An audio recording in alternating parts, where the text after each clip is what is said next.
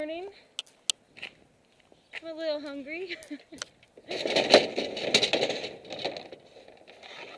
I'm a little hungry. But other than that, doing good. We found some beer. Mm. So I can't take it in my storage just yet because yesterday I was working on the clothes and they're still in the process of being worked on.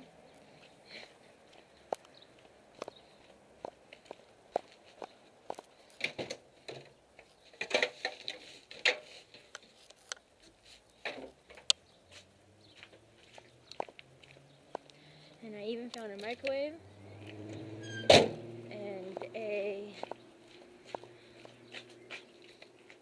cream egg things, a cooler, a heater.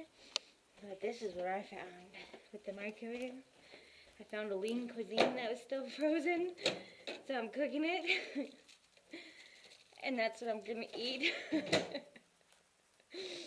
I said I was hungry. Let me wash my hands.